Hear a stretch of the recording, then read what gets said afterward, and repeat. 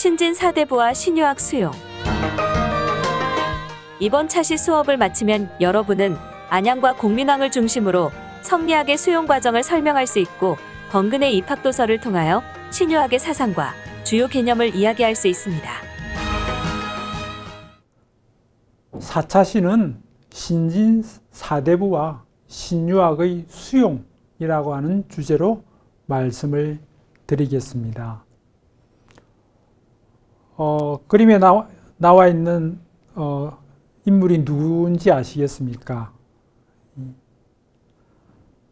모자가 좀 독특하죠. 어, 전시대 유학자들이 그 쓰는 거와는 그 의복으로 차이가 납니다. 대체로 이러한 모자, 이러한 복장은 고려시대 인물이다라고 하는 것들을 보여주고 있습니다.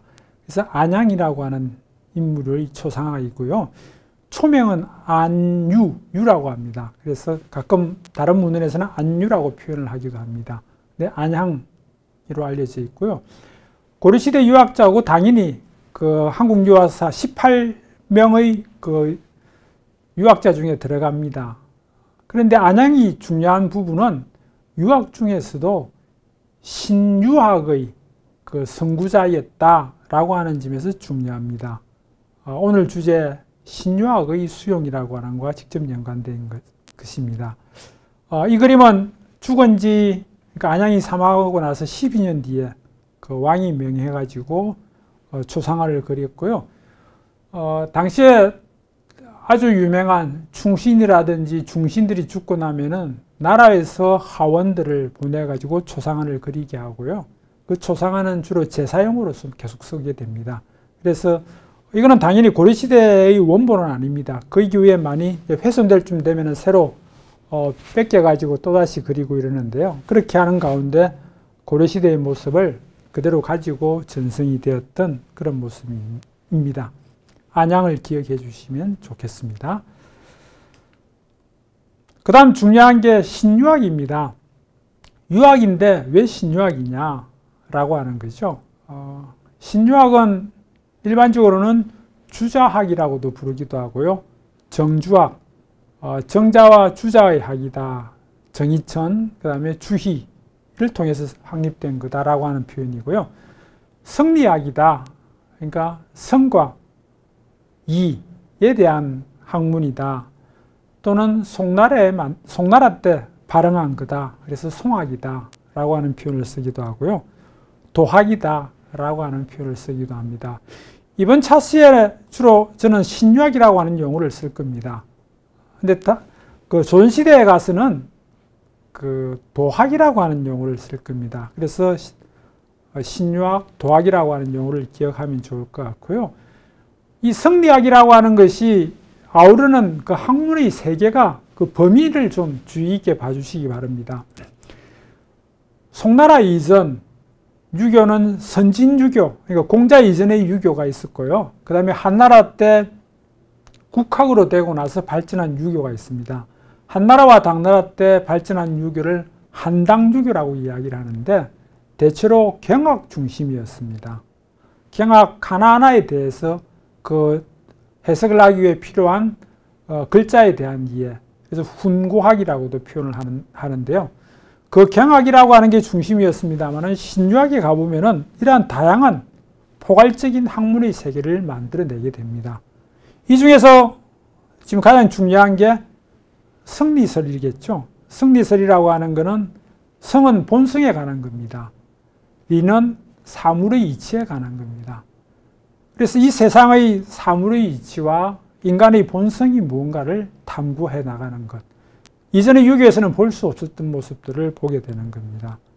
이러한 행위사학적인 원리들이 뒷받침되면서 그 외에 불교와 대립하면서 정통론이 나오기도 하고 내가 도덕적으로 어떻게 수양을 할 건가라고 하는 문제를 다루고 사회 출처의 문제로서 의리론을 다루게 되는 부분들이고 사회를 경영하는 데 있어서 예라고 하는 거와 또 경세, 정치를 어떻게 할 건가라고 하는 것들을 포괄적으로 다루기 시작을 했다라고 하는 이 성리설의 성리학의 세계에 주목, 주목 을 했으면 하면 좋을 것 같습니다. 그래서 이러한 신유학은 어떻게 고려사회에 들어왔는가, 어떤 내용인가라고 하는 걸 이번 차수에 주로 다룰 예정입니다.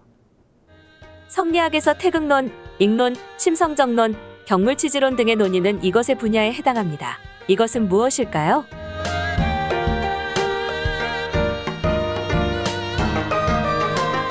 정답은 성리설입니다. 그럼 본격적인 학습을 시작해 보겠습니다. 성리학의 수용은 앞서 말씀드렸듯이 안양이 그 선구자적인 역할을 하면서 나옵니다. 안양이 살았던 1200년대 그때는 원나라 고려가 원나라의 지배하에 있었습니다.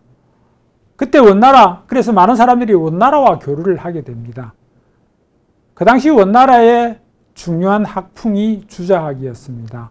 송나라 때 발행을 해 송학이라고 일컬어지는 그 유학이 원나라 때와 송나라 때는 주변 학문이었는데 원나라 때 국학으로서의 자리를 차지하게 됩니다. 다른 말로 이야기하면 과거 시험에 기본 문제와 기본 답안지가 주자 이론으로서 확립이 된다고 하는 겁니다. 어, 그러한 원대의 주류 학문을 어, 원나라에 갔던 여러 고려의 학자들이 배워오게 되는 거죠. 그 중에 앞장섰던 사람이 안양입니다. 주자가 쓴 책들을 보게 되는 거고 그렇게 하면서 어, 고려 사회에 신유학을 유입시키게 되는 부분이고요. 그 다음 안양이 한 큰 역할 중에 하나가 성균관을 중흥시키는 일입니다. 원나라 지배하에 있었고 또 고려 후기에 중기에는 무신들이 중심이었습니다. 무신 정치기라고 하는 것들을 겪게 되는데요. 상대적으로 문신이 중심이 된 성균관은 약화되겠죠.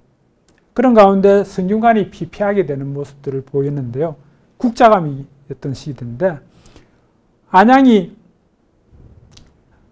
자기를 포함한 그 고위 관리직들한테 어, 얼마간의 돈을 출임하게 합니다.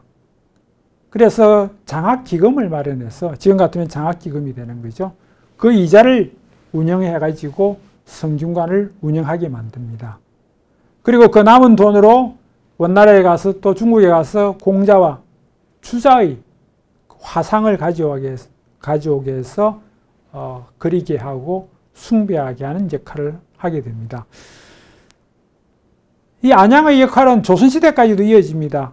그 안양이 자기의 그 산호들, 개인 노비들을 성균관에 바칩니다. 그래서 성균관에 관노로서 있던 그 노비들이 개성에서 한양으로 이주해 왔을 때 그때 성균관에 같이 오게 됩니다. 그래서 조선시대에도 그 안양의 그 영향이 이어지게 되는 그런 모습들이 봅니다. 어떤 행태든 안양 이렇게 하면 두 가지는 기억하는 게 좋습니다. 하나는 신유학을 수용하는 선구자였고 그 다음에 성균관 국학을 부흥하는 역할을 하였다라고 하는 것입니다. 그 다음 성균관만을 가지고 이야기하면 두 번째 큰 역할을 하는 부분이 공민왕 때입니다. 공민왕의 역할이 큽니다.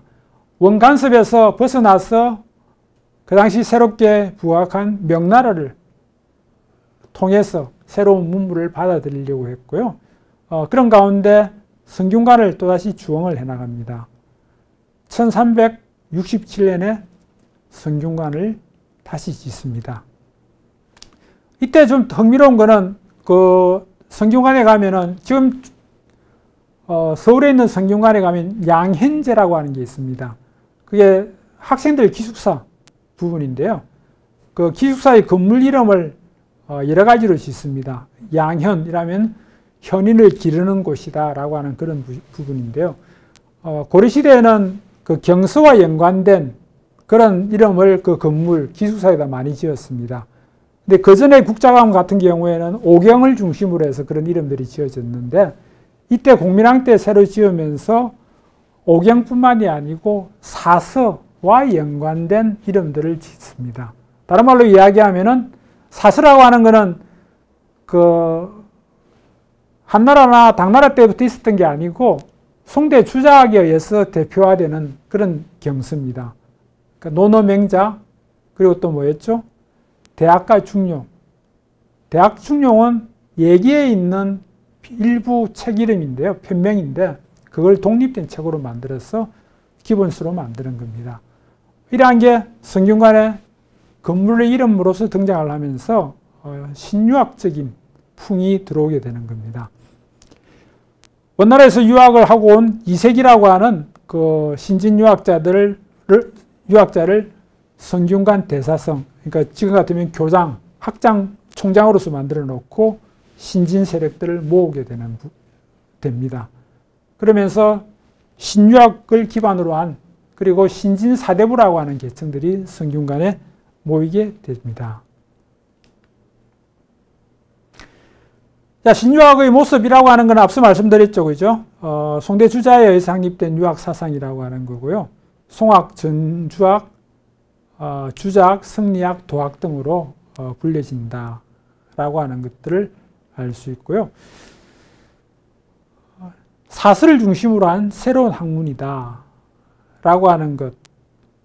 오경이라고 하는 것은 매우 광범위한 그 책들인데 사스라고 하는 것에 강조되는 것은 그 에센스를 뽑아가지고 어, 사물과 인간을 바라보는 하나의 어, 학문 체계의 틀로서 재구성한 그런 부분으로서 말씀을 드릴 수 있겠습니다.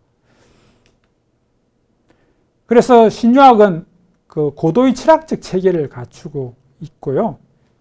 자연 현상이라고 하는 것 뿐만이 아니라 그 배후에 궁극적인 것을 제시하려고 했습니다. 태극이라고 하는 이름이 원래는 도교에서 나온 건데 그걸 수용을 해가지고 궁극적인 것으로 보고 있는 것들이고요. 그 다음 세 번째 하나의 특징이 어, 내가 관리로서의 유자, 강수에서 봤죠.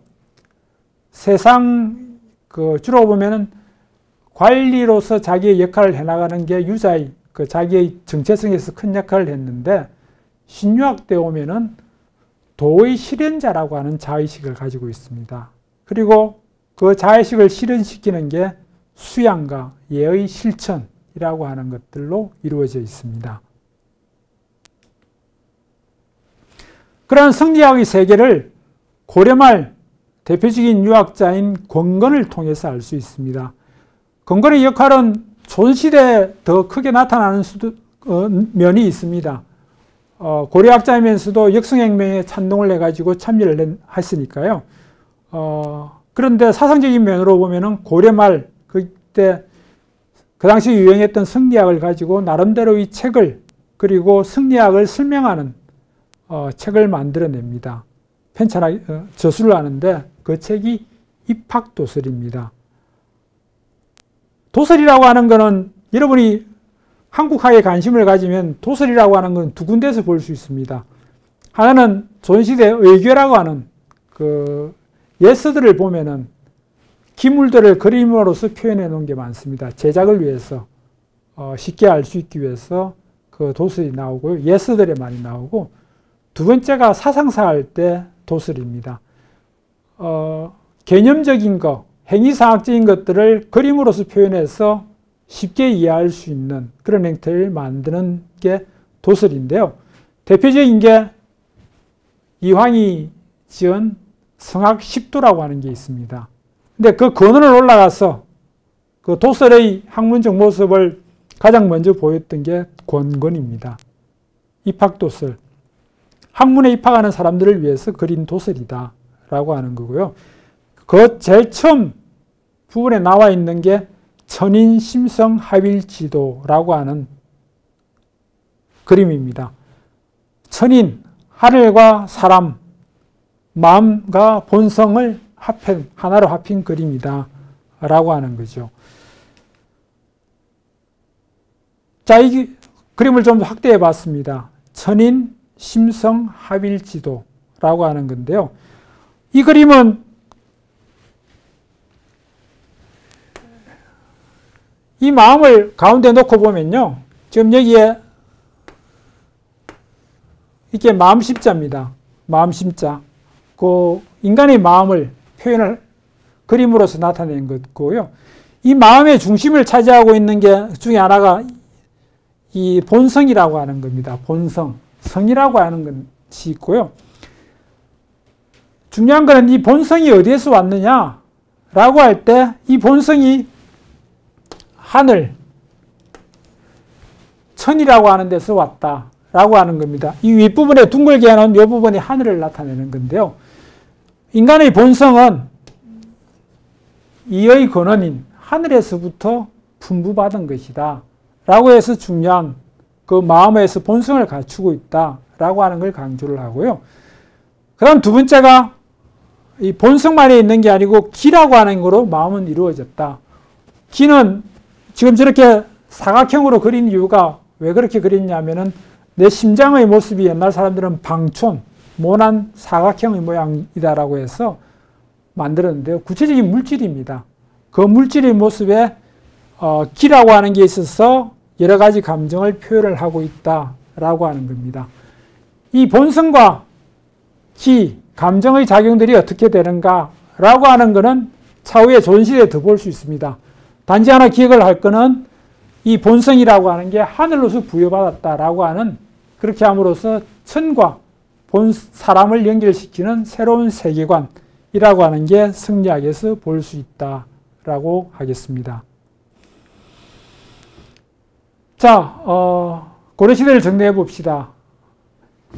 일단 신유학이라고 하는 걸 우리가 접했습니다. 송대 등장한 신유학은 당시 변방의 학문이었는데 원대를 통해서 국가 공인 학문이 되었고 어, 새로운 훈과학을 넘어서 자기 수양의 방법을 제시하고 불교 사상을 대신하는 지배인용으로 발전을 하게 되었습니다.